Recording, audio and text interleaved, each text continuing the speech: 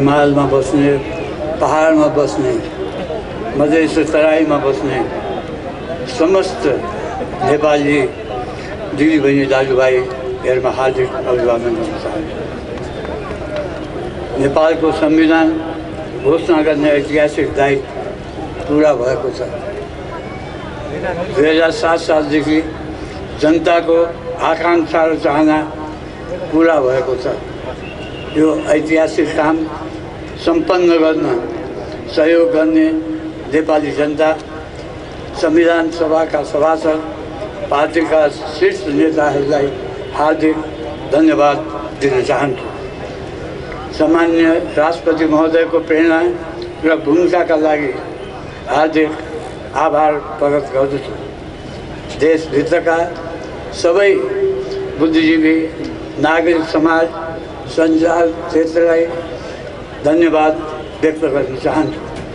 हाम्रा दुवै छिमेकी भारत चिन लगायत सबै मित्र राष्ट्र र अन्तर्राष्ट्रिय सङ्घ संस्था समेतलाई हार्दिक धन्यवाद दिन चाहन्छु।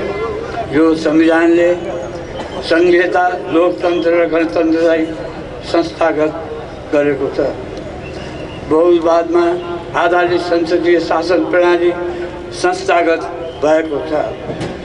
समावेशी लोकतन्त्रका जनता को प्रतिनिधित्व, अधिकार र सामाजिक न्याय प्राप्त गर्ने आधार फराकिलो पारेको छ बहुजातीय, बहुभाषिक, बहुधार्मिक, बहुसांस्कृतिक र भौगोलिक विविधता भएको हाम्रो समाजमा एकता र मेलमिलापको खोजी गर्ने अवसर झन् बढेको छ संविधान निर्माणको समग्र प्रक्रियामा सहभागी भई महत्त्वपूर्ण योगदान दिएर पनि निर्णायक समयमा आएर यो ऐतिहासिक दायित्व र प्रक्रियाबाट बाहिरिएका तराई मधेस लगायतका थारू समुदाय जनजाति आन्दोलन आन्दोलनरत पक्षका असन्तोष एवं सरोकारहरूलाई पनि सहमति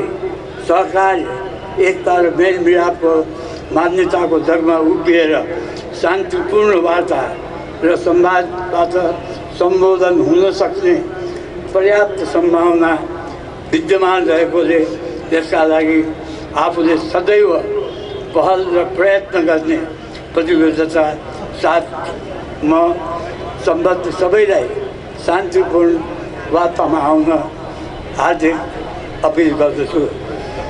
समानुपातिक समावेशी प्रतिनिधित्वको सिद्धान्तलाई सामाजिक न्यायको हकमा राख्ने विषय होस् जनसङ्ख्याको आधारमा निर्वाचित क्षेत्र निर्धारण गर्ने विषय तथा तराई मधेस प्रदेशको सीमाङ्कन सम्बन्धी विषयलाई छलफल गरेर वार्ताबाट सहमति गरेर सम्बोधन गर्न सकिन्छ भन्ने विश्वास दिलाउन चाहन्छु।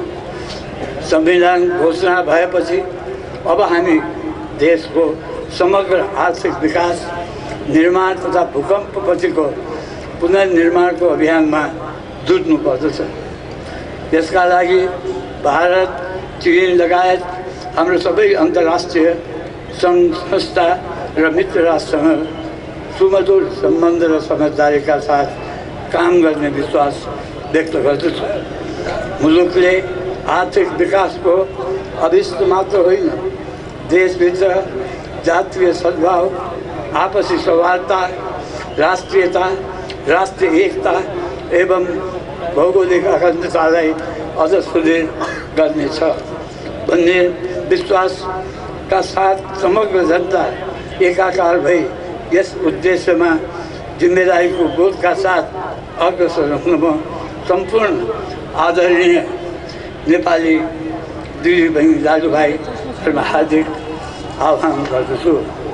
यस अवसरमा जननायक बिपी कोइराला सद्य नेता गणेश मानसिंह, सुवर्ण शमशेर कृष्णप्रसाद भट्टराई गिरिजा प्रसाद कोइराला तथा वामपन्थी आन्दोलनका शीर्ष नेता पुष्पराजजी मनमोहनजी, मदन भण्डारीले लगायतका नेताहरूको योगदानको उच्च उच्च सम्मानपूर्वक सम्झना गर्न साथै तराई तराई मधेसका नेताहरूको प्रजातन्त्रमा प्रजातन्त्रको आन्दोलनमा जुन उहाँहरू उहाँहरूले प्रजातन्त्रको निम्ति, यो मुलुकको निम्ति जुन योगदान योगदान गरेको उहाँ समस्त नेताहरूलाई म सम्झन चाहन्छु। यसै गरी यस सम्पूर्ण महाअभियानमा अनवरत खबरदारीसहित सहयोग गर्ने सम्पूर्ण पत्रकारहरू प्रेस जगत वकिल बुद्धिजीवी शिक्षक प्राध्यापक विभिन्न पेसागत सङ्घ सङ्गठन सबैलाई हार्दिक धन्यवाद दिन चाहन्छु।